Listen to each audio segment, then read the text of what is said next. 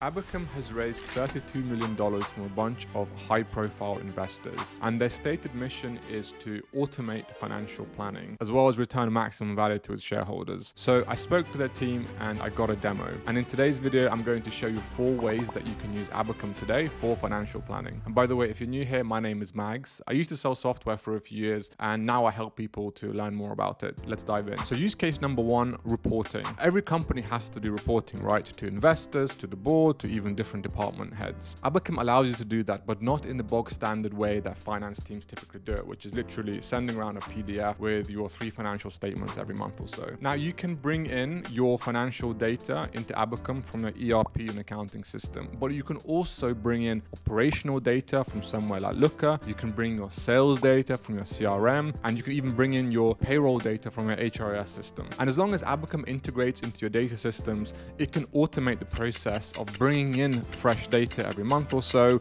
and updating all of your reports. Once you've connected data, you can create these nice interactive dashboards that you can share with different people. Here's a dashboard for the management team who want to look at some high level KPIs like cash balance, runway, ARR. Here's a different dashboard for sales managers where they can keep track of their KPIs like quota attainment, um, sales and marketing expenses, and so on. And from this dashboard, you can actually drill in to the underlying data. So, for example, here we have gross margin. We can drill into that. We can see that it's calculated by subtracting total costs from total revenue. And then we can actually see the numbers that make up the revenue as well as the numbers that make up the costs with all of the metadata associated with it, like location, time, and so on. But just because Abacum brings in all of your data into the platform doesn't mean that everybody in your company instantly has access to all of the data. Abacum allows you to set really granular permissions so that only the most relevant dashboards and relevant metrics are shared with the right people. For example, you might be wanting to use the output of your payroll in one of your financial models, but you might not necessarily want everybody to see the underlying data with everybody's salaries, right? And you can create permissions around that. Now, the ideal scenario for Abacum obviously is that everybody gets the data and gets their reports directly within Abacum, but some boards, some investors are pretty old school, so they still want to see things in, you know, PDFs or Google Slides or whatever. So Abacum also supports a two-way integration into Google Sheets. So all those slides which might make up your board pack, for example, updated automatically as soon as you load new data into Abacum. Use case number two, budgeting. Now, most companies put together a, an annual budget or an annual plan, right? Which they review and adjust every quarter, every month, or even every six months. But budgeting is normally a team sport and it requires input from lots of different people in your company. And Abacum allows you to manage that entire process with all these different stakeholders within the platform.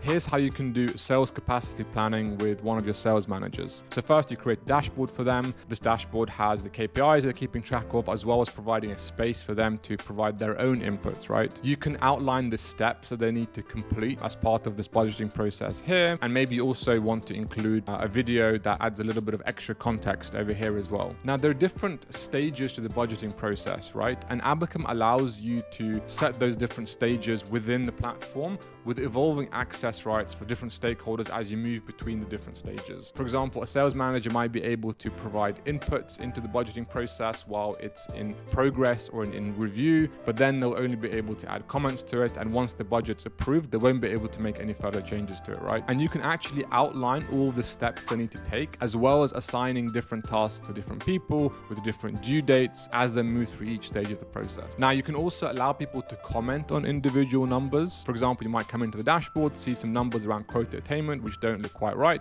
Maybe you leave a comment, and the sales managers could open up the dashboard, input the new numbers directly from the dashboard, and that works exactly the same way for vendor level forecasting, for example, where we can give our sales managers a little chart that breaks out all of the vendors. They can then come in, add a completely new vendor because, you know, they're having, they want to buy a piece of software or something, or they can update the forecasted spend for an existing vendor. For example, maybe we want to spend a little bit extra on demand generation in April. The finance team who quarterback this whole process can just see all of the activity, all of the changes that have been happening to the model in the activity tab. Use case number three, data analysis. Now, management teams are constantly asking finance for different KPIs, right? Like revenue broken out by subsidiary, product line, geography, and so on. But it's really hard to get that information when it lives across a bunch of different spreadsheets and all of your data basically is categorized into rows and columns. So instead of sorting data into rows and columns like you do in Excel or having different spreadsheets for storing different information about the same metric and then manually having to transform your data in order to establish relationships with all those different kind of moving parts of your data, Abacum stores all of your data in dimensions, where each dimension stores different aspect of your data, right? So for example, revenue has a dimension which is product, which has dimension which is geography, which has dimension which is time. And that allows you to slice and dice across those dimensions really quickly. Because your data is already structured when it gets into Abacum, you can just click on revenue and then slice along the dimension without having to manually go through the process like you do in Excel or filtering your views or transforming your data so it includes all the granularity that you might want. And then this allows you to build your forecast in a much more granular level as well. For example, instead of forecasting by department, let's say sales and marketing, you can do a bottom-up forecast where you itemize every single vendor that feeds into that sales and marketing expense tab. Not only is it much easier to query data when it's in a multi-dimensional database like Abacum, but dimensions allow you to query much larger data sets much faster as well. Use case number four, scenario planning. Now, before a company commits to a particular strategy, they will ask their finance team to come up with a bunch of different scenarios, right? To do this in Excel, you have to duplicate your model a few times, then go into each file and then change the underlying assumptions, and then create another Excel tab where you combine all of your different scenarios on a single chart. But in Abacum, when you want to create a new scenario, you simply create a new version of your model. So for example, might want to create two scenarios. One is a bull case, one is a bear case. The bull case has